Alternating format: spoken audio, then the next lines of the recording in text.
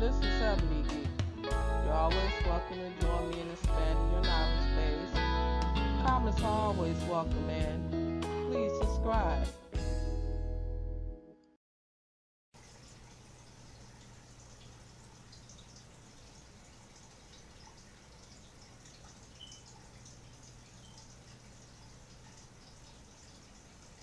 What I'm actually doing right now is using the multimeter and it's set to I'm setting it right now.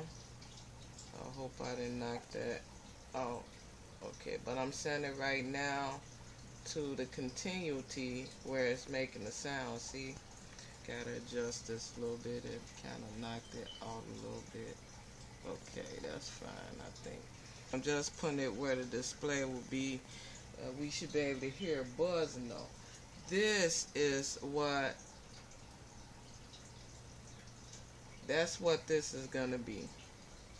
Okay, it's an ISP shield from Evil Science. Okay, so it's an ISP soldering kit. I bought it a little while ago. I don't know which one I'm gonna do first, whether it's gonna be the clock or what, but I'm gonna have to I have a new solder now, and I'm just wanting to test it. But before I test it, I want to um, actually see if I could trace some of these traces on this board. So we have our probes here. And remember when you're doing a continuity, you don't have to worry about the polarity, you know, the negative or the positive. It's just you tracing with one and continuing on. I had started just in the middle of the board. So I do know these resistors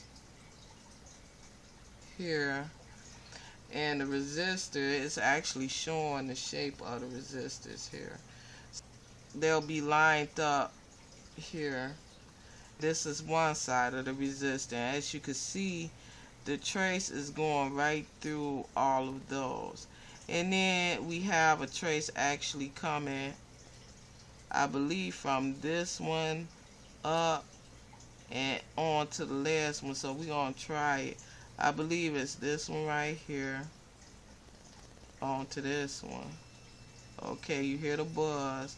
So we have those two pins. Okay. So that one is the one that's right under the U. So that's gonna be one two three four five six seven right here. Okay. And then this one is most of the time it's coming up so that's one two three four five six. Okay I'm actually going to do it like this and keep this in mind. I know it normally goes down and then around and up. I'm going to do it like this. This was 1, 2, 3, 4, 5, 1, 2, 3, 4, 5, 6, 7. Okay. 1, 2, 3, 4, 5, 6, 7, 8, nine. I believe that's nine. Yep. So we have seven on the one side and nine on the other side. Okay. This is just going to be wobbling all over the place. I'm actually keeping a track on this in my own little. I'm wondering if this is coming off from here and going around. So let's just go ahead and touch this one, number seven. And then if it's going up and then around, when we touch this last one, it should be, and it is. Okay. Seven goes to R1, the back leg of R1, resistor 1. So we have 7, okay, and 7 comes down. I'm wondering if it connects, it connects to the 3 volt here. Put our probe there. Okay. Then we trace it through the trace and then down to the 3 volt. And we get our sound. Okay continue on down to VCC I believe. It's also connected. Okay. So that must be a power um one. And I'm believing also this way. Yes. It's coming down now in this way I can actually trace to see what's connecting to what just like like I said just like these traces were wires you know so that wire will be crossed like that from 7 to whatever. Then it will be up across and then it go up to the last resistor. So that'll be a series of wires. So just think about it like that. All these traces hooking together is like wires hooking together. Okay? Make it work we see that this is here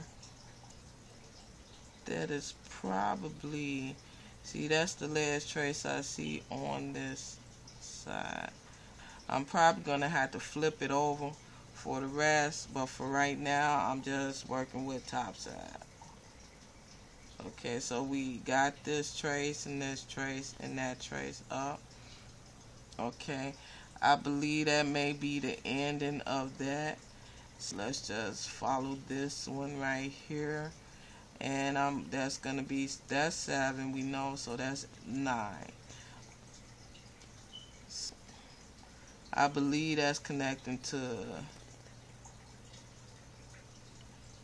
uh, these ceramic capacitors and a crystal down there this 9 pin is coming down is connecting to this leg of ceramic capacitor and this leg of the crystal right? So that's 9 that's connected. Okay. And that's connected. If you can see why my big hand's not in the way when we touch the probe to what's connected, the numbers below change. Okay, and you can also hear the buzz. 10, we can see the trace for 10. It's this little curly part right here. Because I don't think 9 is connecting to anything else there. 10, we have it curling around to the back end of the crystal on the other side of the crystal from where what is that 9 was connected so it's going to the other side of the crystal. You can hear it and you can see it underneath okay? And then it's also going to I think this capacitor too so it's going to the other side capacitor too so 9 is hooking down here to these two components. Okay so we have both sides of the crystal accounted for. We don't know. I guess the trace below is going to show us what's going on underneath for the metal. We have that that bottom part all lined up right? Based on what we could see from the top side. So we did this trace here. Okay we came around did that went up here and did that that all the way up here to that one then we did these here um down to the VCC I don't believe we're gonna be able to see any other other traces from the bottom there Now, I'm believing that this trace is branching off to here. So let's check it. So this trace right here, I believe is branching off to here and then over. No. Okay. That's the only place it could have went to. And it's not connected. So apparently it's not branching off.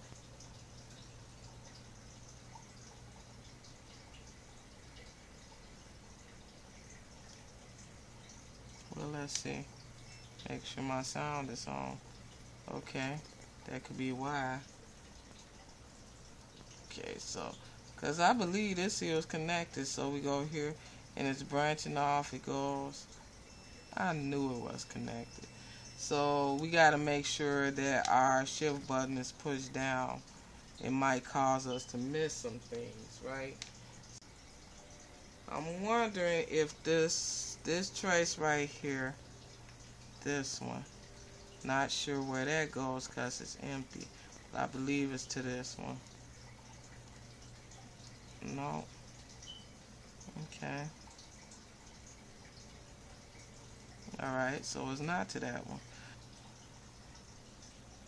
Let's see, so we have this one, and it's going up to this run right here, and it might connect to the rest of those. So let's see, so this is going to be one, two, three, four, five, six, seven. Okay, so 7 from top part of that side. And let's just check this one first. As you can see, this tells you how you can find out what is hooked up to what so that when you if you want if you want to do breadboarding then you know what is hooked up to what because you're seeing how the wires might hook up you know, with each other. Uh, you know, which which jumper wires you might want to use, right? I'm Ebony Geek, and I hope that the information provided has been helpful to you. Please remember to subscribe. Happy building and happy coding.